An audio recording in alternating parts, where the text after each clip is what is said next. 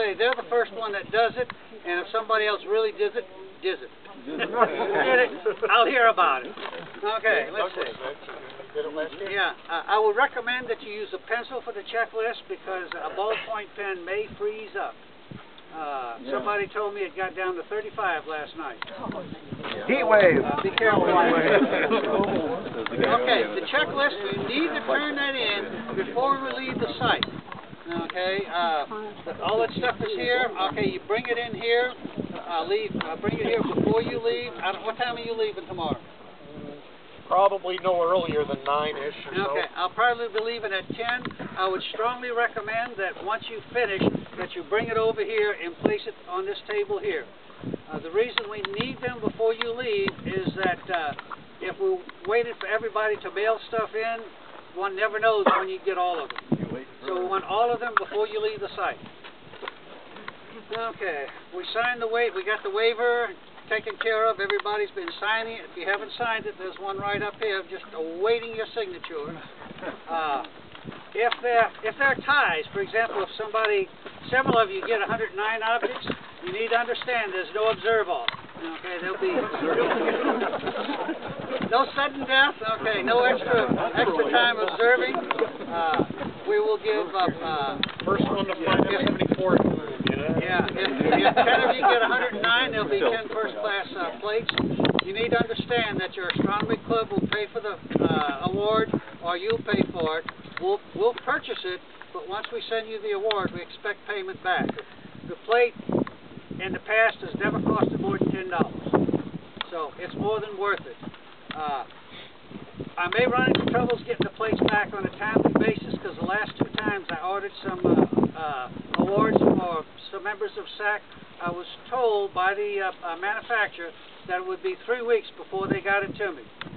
If I wanted it sooner, it would be a hundred dollars. I love y'all, but it's not worth it. Okay. Uh, let's see, we got about that. Ah, okay. About safety. A few years ago, uh, uh, Jack Jones was uh, talking about it. When you finish observing, okay, when you finish observing for the night and you're ready to go home, please don't drive home dead tired. Okay, stay here, get a few more hours of sleep, or on the road, pull on the side and get some rest. I want you all to be able to do some more observing. So don't push being tired while you're trying and, and trying to drive. Okay, let's see. I'm not going to go over the uh, uh, sunset, sunrise times. I think we all know. Uh, yeah, watch that. Yeah. Many, many, When the globe goes down, Many, many, many years ago, some person, I don't remember if it was a man or a lady, comes up to me at nine o'clock and says, "When do we start?" Okay, you start whenever you can find stuff. Okay, and you keep observing till either you're done or you found all of them. Now, the, the analysis that I did indicates that uh, M30 early in the morning is not going to be available. So I expect 109. If somebody comes with 110, you better be ready to give me a good excuse. Jimmy. Okay. Yeah, Jimmy's saying he is. I think I might come over. I might come over, look over his shoulder. Point your scope right there, you got it.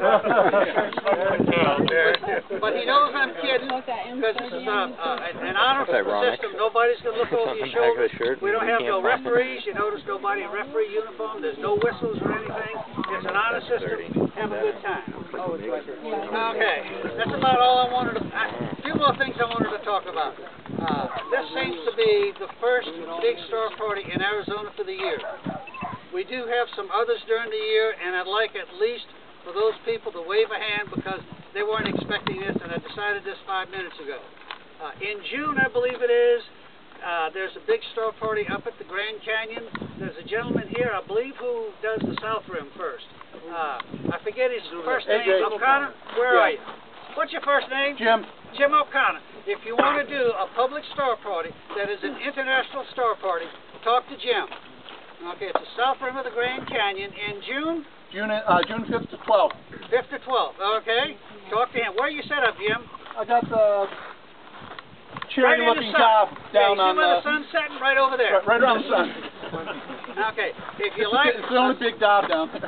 okay, if you like a star party that's a little bit smaller, still international in flavor, and takes a long time to get there on a beautiful drive, there's a North, the Grand Canyon North Rim Star Party, and the gentleman that takes care of that, Steve Dodder.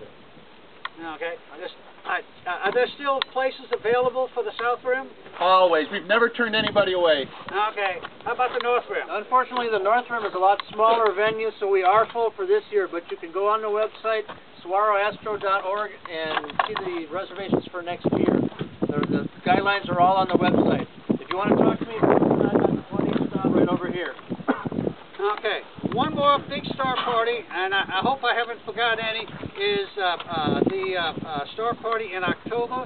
It's the All Arizona Star Party put on by the East Valley Astronomy Club, and I think more than half of you know that because more than half of you belong to EVAC. Okay. Who, who, who from EVAC did they talk to? Right here. A quick correction, normally it's October, and it's late October.